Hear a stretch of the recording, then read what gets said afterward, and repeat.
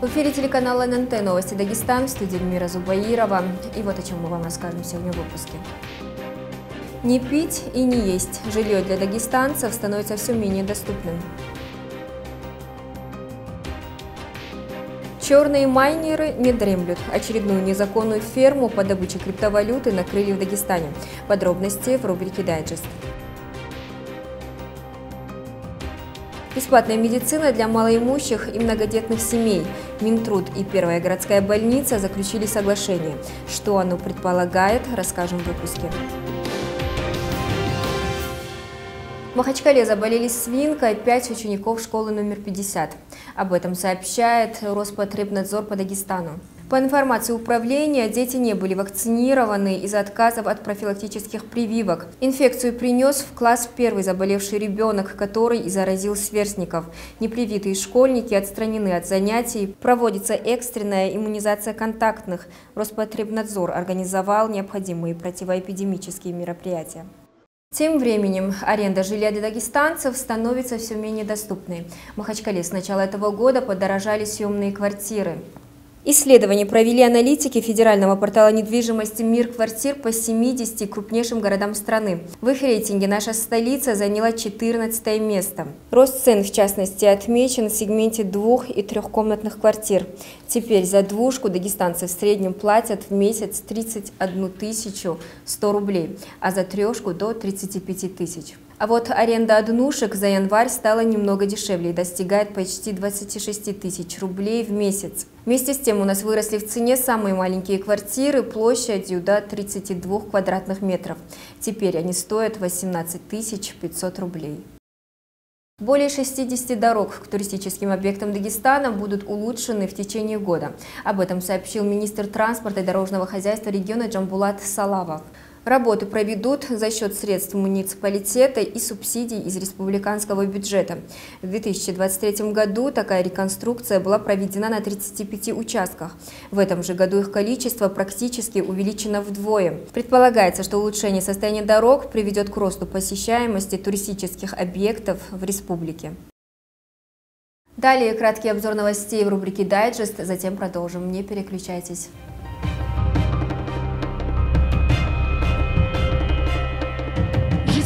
Буйнакского района подозревается в незаконной рубке деревьев породы ясень на 250 тысяч рублей. Об этом сообщает МВД по Дагестану. Мужчина изготавливал из лесных насаждений уголь и продавал его. Этот факт сотрудники полиции выявили при проверке автомобиля лесоруба. На тот момент в его машине было более 400 брусков. Стражи порядка проводят проверку.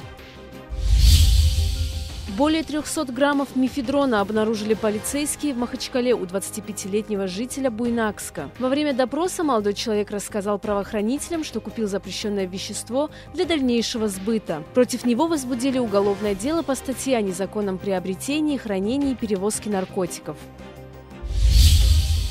В Махачкале выявили незаконную майнинг-ферму, сообщает филиал Дагэнерго. Она располагалась в частном доме 37-летнего жителя поселка Караман. За несколько месяцев ферма потребила электроэнергию на 1 миллион 200 тысяч рублей. Оборудование было подключено к сети в обход прибора учета. Оно изъято, а в отношении электровора решается вопрос о возбуждении административного дела.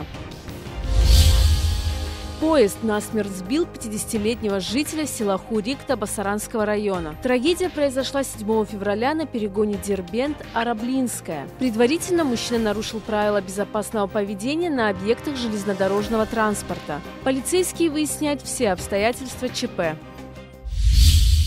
В нашей стране отмечается День российской науки. В Дагестанском гуманитарном институте по этому случаю прошел мастер-класс, на котором студентам и преподавателям вуза рассказали все о грантовой деятельности, как правильно составлять проекты и отчитываться по ним. А провели его директор молодежного инновационного комплекса развития образования и науки ДГТУ Абдулла Ахмедов и аспирант учебного заведения, победитель проекта «Умник» Нурадин Мутаев. Спикеры поделились также личной практикой и опытом написания грантовых работ по научной и социальной практике. ДГИ договорился о сотрудничестве с молодыми учеными и руководителями научных секторов ДГТО. Минтруд Дагестана подписал соглашение о взаимодействии с городской клинической больницей Махачкалы. Так, все, соглашение подписано. Теперь только осталось нам э, проявить свои профессиональные mm-hmm. навыки, качества и свое душевное. Спасибо, да, но сегодня Спасибо всем. Направлено оно на предоставление бесплатных медицинских услуг малоимущим и многодетным семьям, которые состоят на учете в комплексном центре соцобслуживания населения Махачкалы. Это первый опыт такого рода партнерства в России. Хочу поблагодарить лично вас, Хаджи Матманович, за такую э, замечательную, я бы сказал, идею о том, чтобы все малоимущие, многодетные семьи, которые есть у нас на учете в комплексном центре социального обслуживания города Махачкалы, могли провести здесь э, полное лечение, диагностику. На самом деле, со всех точек зрения, и с религиозной, и с государственной, это очень полезно. Я э, призываю наших коллег с других больниц в районных городах подхватить инициативу Хаджимат Магомедовича и организовать у себя тоже. Это будет на самом деле очень полезно. Для успешной реализации такого проекта уже определены рабочие группы и ответственные лица. Весь спектр медицинских услуг от диагностики до стационарного лечения будет проводиться в режиме одного окна. И, естественно, зная свой потенциал, мы и а, предложили, вышли с такой инициативой, чтобы многодетные малоимущие семьи были э, в том числе на нашем попечении. Мы готовы это сделать. Это а, не только наша медицинская обязанность, но и человеческая потребность. Человеческая потребность помогать людям. Ночь Вознесения пророка Мухаммада, мир ему и благословение, значимая ночь для мусульман. Во всех уголках мира читают восхваление пророку и рассказывают про это важное событие. Несколько тысяч человек собрались в джума-мечети Махачкалы, чтобы выразить тем самым свою любовь к пророку. На такие мероприятия в Джума-мечеть Махачкалы приезжают изо всех уголков страны. Также во всех районах и городах Дагестана проводят маджлисы в честь ночи Исра Вальмирадж. В мечети Алякса палестинцы также собрались для того, чтобы восхвалить пророка Мухаммада, мира ему и благословения, и ночь, когда Всевышний повелел нам совершать пять намазов в день.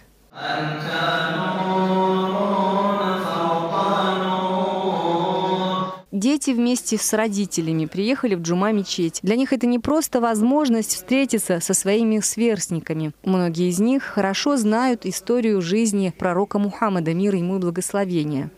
Сегодня ночь Миарач, день, когда переселился пророк Мухаммад, саллиллаху алейхиссалям, из Мекки в Медину. Я сегодня пришла с моей мамой и с родственниками. Про ночь Миорач и про пророка Мухаммада, саллиллаху алейхиссалям, рассказывают во Ано Ватан. Я учусь в пятом Б-классе. Сегодня ночь Миорач, и мы пришли делать намаз. С кем? Покажи. С мамой, э, и папой, и сестрой. Тут мы намаз делали еще. Нам конфеты раздавали, я рисовала. В ночь Мирадж пророк Мухаммад, мир ему благословение, совершил свое важное путешествие в Иерусалим, где коллективно помолился вместе с другими пророками, а затем был вознесен на небеса. Это произошло после того, как пророк, мир ему благословение, в течение десяти лет проповедовал меканцам, призывал их к исламу, но в ответ получал только насмешки, унижения и обиды. Посредством этой ночи Всевышний возвеличил пророка Мухаммада, мир ему благословение. Айша Тухаева, Ислам Халиков, Мурат Бекбарзов. Новости ННТ. Махачкала. Суицид, убийство и смерть от передозировки. Последние новости из Дагестана потрясли общественность. Для профилактики от действий, приводящих к подобным трагедиям, в городе Дагестанские огни состоялась встреча с молодежью. Дворец культуры посетили около 400 ребят, преимущественно студенты.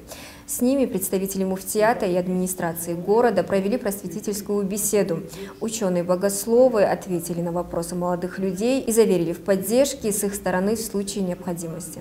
Есть специальные каналы, где профессионально уничтожают молодых людях наших религию, пропагандируя атеизм и сатанизм.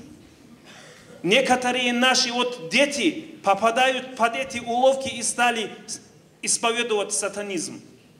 Есть такие каналы, где целенаправленно настраивают против учителей. У тебя есть слово, у тебя есть свобода. Почему он должен тебе замечание делать? Ты такой же человек. Скажи в ответ ему, учат так. Есть даже мультики, где учат сотни раз, повторяя слово «надо убить учителя». Понимаете? Есть такие мультики. Ничего хорошего, идя против учителя и оставляя этику учителю, человек не получит. Так написано в книгах. В частности, исламских книгах так написано. Безбаракатность и благодать человек лишается, кто оставляет этику своему учителю. Почему общение с противоположным полом не разрешено до брака? Почему запрещено? В первую очередь это веление Всевышнего Аллаха запрещено. Почему? Потому что у каждого из нас есть сестра, правильно же? Есть сестра, есть мать.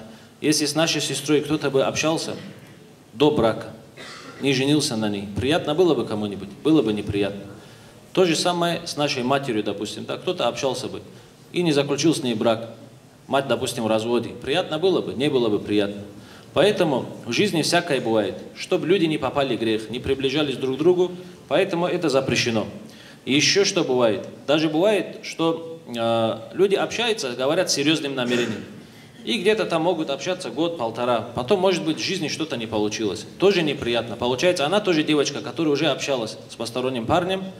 На это может обращать внимание ее будущий муж и так далее. И с его стороны то же самое. И еще что бывает, самое главное, братья, еще что бывает. Когда мы общаемся с противоположным полом, даже пускай мы будем говорить, что это серьезные намерения, все равно это грех первое. Второе, что очень плохо, и почему такие семьи бывают некрепкие. Потому что, когда общаются парень и девушка, каждый из них хочет показать себя лучше, чем он есть. Да, скрывает все свои плохие недостатки, хочет показать лучше, чем он есть, Потом, когда уже начинают жить вместе, даже если они, у них уже получилось все хорошо, свадьбу сыграли, начинают жить вместе, начинают потом узнавать все недостатки друг друга. А когда люди не общаются, и сразу у них все серьезно, все, заключили брак, они живут вместе, они такие, какие есть, естественно, они есть.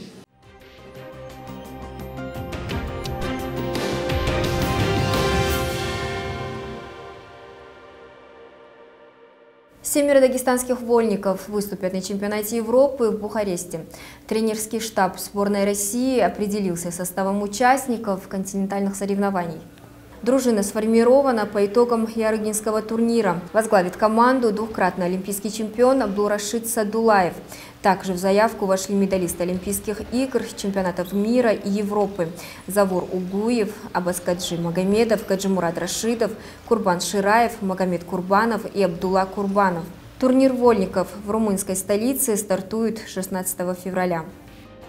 На этом у нас все. Смотрите нас также в социальных сетях. Всего доброго и до новых встреч в эфире.